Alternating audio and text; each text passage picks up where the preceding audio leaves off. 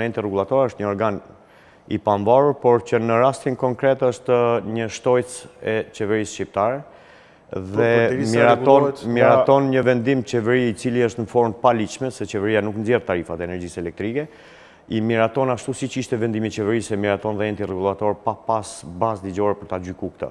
Më fal, e ka tagrin qeveria që të zhbëjë vendim të entit regulator? Dhe qeveria dhe qeveria dhe kryeministri nuk ka tagrin sa herë që shofin andra që të flasin për tarifat e energjisë elektrike.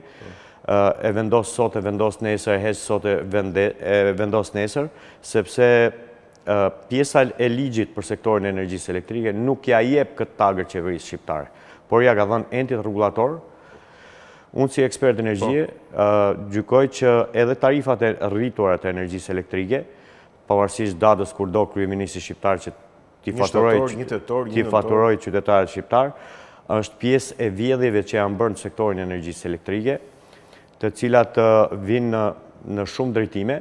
Pjesa e parë është pjesa e menaxhimit të kaskadës së Drinit, është menaxhuar në mënyrën më barbare. kjo kaskadë, derisa arritëm në pikat, në pikën kritike të sigurimit, të cenimit të sigurimit të furnizimit me energji elektrike për qytetarët dhe për biznesin shqiptar. Pjesa e dytë janë importet e energjisë elektrike. Ne i referohemi bursës, por energjia e blerë, energjia e blerë nga korporata elektroenergjetike është energji ditore, dy ditore ose javore. Nuk prokurohet energji afatgjatë, energji që do të thotë një mujore, tre mujore, gjashtë mujore, vjeçare, por prokurohet energji afatshkurtër. Dhe referenca që merr korporata elektroenergjetike nga bursa i referohet energjisë ditore.